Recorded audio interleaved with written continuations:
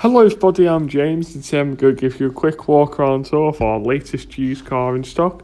This is a Peugeot 3008. This particular 3008 is the GT line in Nimbus Grey.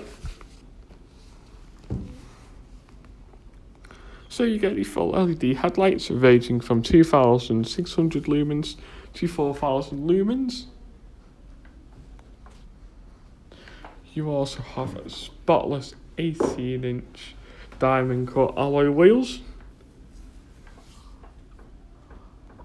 Going into the car from the front passenger side, you have the suede on the doors as well as the dash. You have power leather seats.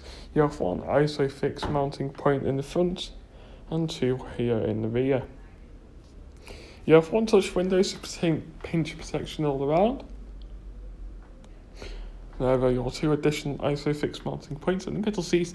You do have an armrest with two cup holders and access into the boot.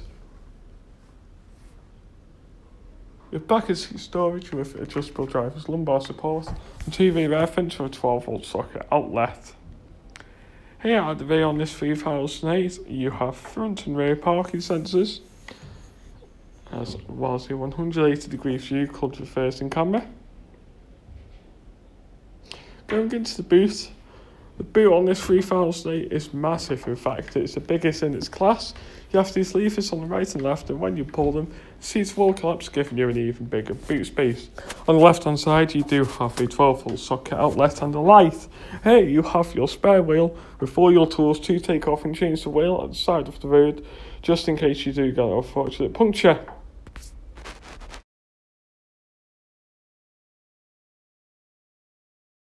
This 3008 has covered 10,025 miles, which is on the low side. You have stereo motor controls on the left and right. Behind the wheel to the left, you do have cruise control and speed limiter on its own stalk. It can go up in increments of 1 or 5 by pressing or pressing and holding.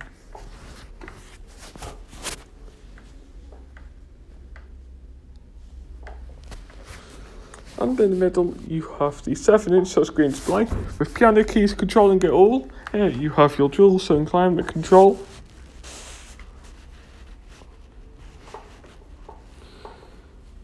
You have some 3D TomTom sat nav.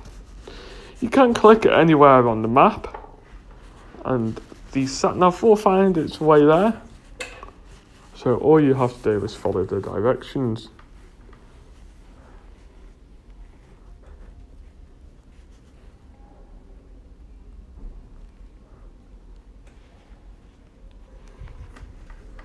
And then to cancel the sat nav we need to do is go into menu and it will deactivate once you press stop navigation.